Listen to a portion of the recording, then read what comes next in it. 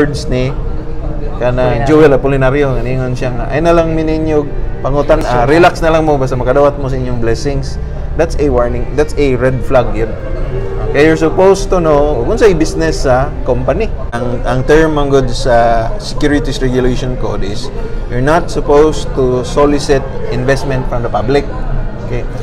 What CAPA did is murabag i-circumvent nila try ang law ba So, ang ilang ibuhat is, we are not asking for investments. We are asking for Donation. donation. Okay. Kunya, this is not a return of investment. This is a Blessing. blessing. Ah, di ba? Okay. So, actually, dili lang sila nagbuhat ana. Daghan ang nagbuhat ana. Ah, nayo nayuban gitawag nila planting, harvesting. Lain-lain ang ilang term gigamit. Now, unsa may ruling ana kay mo manay mo manay mo manay dipinsa gyud sa mga supporter sa CAPA and other schemes nga.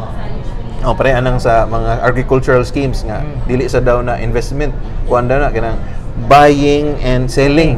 Pero kana siya regardless of what animal you call it uh, you put in a, a certain amount and you expect a certain return. You participate in a certain uh, enterprise without you even doing anything.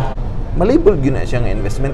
Actually, I have been lawyer for the legacy victims which collapsed in 2009, I think. Uh, I represented more than uh, more than 50 individuals siguro from Cebu with hundreds of millions of claims. It resolved or? Actually, ongoing uh, until now, until now, For claims. daghan kayo og investor sa legacy nga wagid kadawat. Okay, so inana, that was how bad that one was. Pero kaning kapa is much more bigger ha. Ang legacy was estimated to be around 30 billion. Ang kapa is estimated sa SEC is 50 billion ra gani. I think it's more than that. Believe it or not, legacy lasted for almost 10 years. Oh, if you do the archival research. Okay, so nagigidawat gyud mga tao. Oh, In fact, safety gani, they feel very safe kuno kay they were issued post-dated checks. Ah, ah, untol ni kakihatag criminal or something. Ano sa tabo? Ni collapse. So it's not sustainable. Nangita sila way nga ma-sustain ang business kay daghan sa sila business. Just like kapa karon nga daghan kuno ig business. Collapse. Mo to ni tabo. And everybody was left holding the empty bag so to speak. So dili na siya guarantee nga mo pay out. Of course, kung gamito ni mo logic, mo pay out gyud na siya kay ang ang masagdi sila mo pay out, mo pay out gyud na sila. to ensure that uh, the scheme continues. Yes, but no Ponzi scheme will last. a defender, confiscation of money, properties uh, to the raided schemes Ah.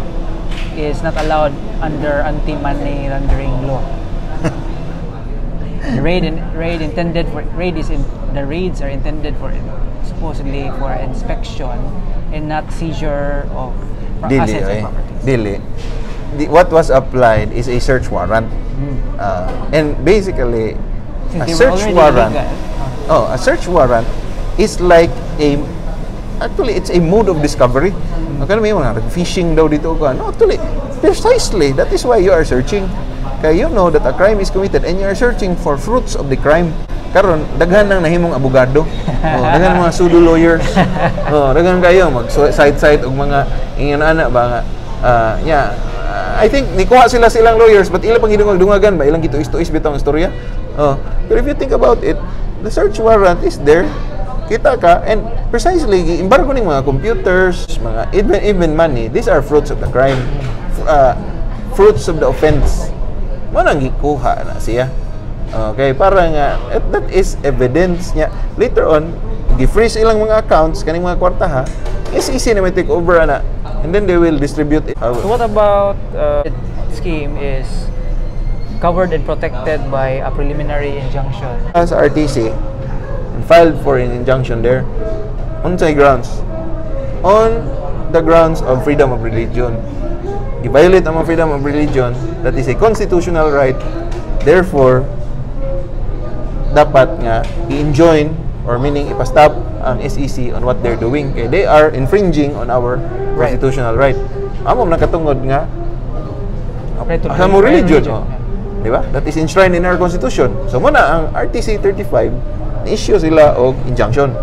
Now, ang SEC does not care About whatever you do in your religion. So magtuwad-tuwad pa ka diha, inyo pa inyo pa nang ludan-ludan si Apollonario diha. SEC does not care. Ang SEC only cares about your act in asking investments from the public. Now, once a result is uh, Section 179 of the Revised Corporation Code. Ha?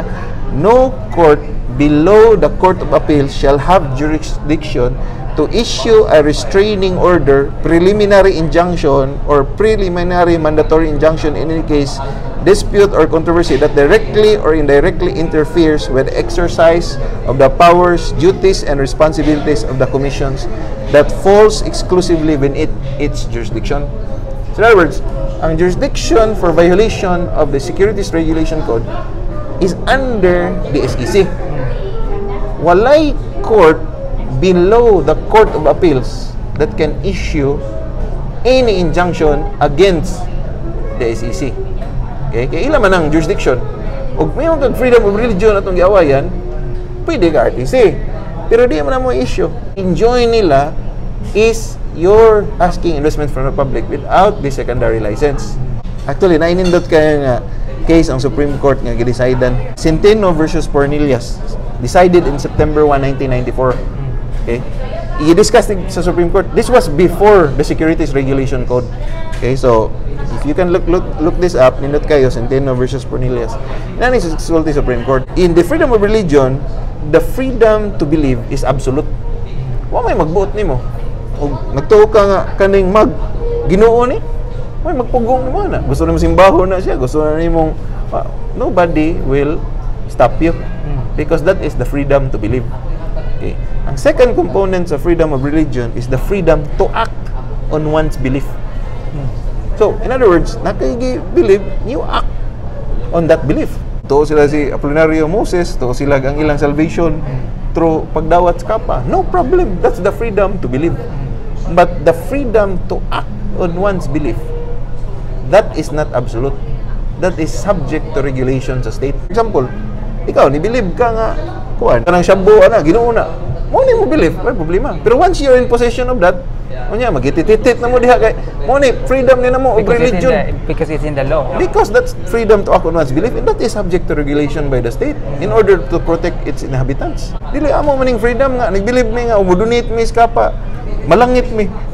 Di ba? Nya pag man ami return that is the freedom to act on one's belief. That is subject to regulation. So in this case, either way you look at it, So the injunction is what? o sana, Is ah, o sa sana, mo man mo man nilang gipasiatan. Ang injunction ko no, pag pag pag hearing ko no kaso, wa ko na niadtong SEC. Okay. because it's RTC. Of course, I will not go there. That is a court without jurisdiction. Mm. And when you go there, you're submit as if submitting to the jurisdiction of that court.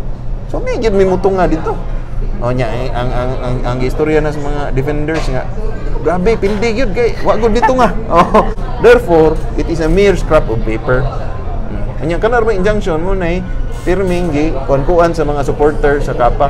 I mean injunction, I mean injunction, freedom of religion, eh, freedom of separation of church and state. Kana nga to duha ka argumento, injunction and the freedom of religion. Bagsak gyud na siya.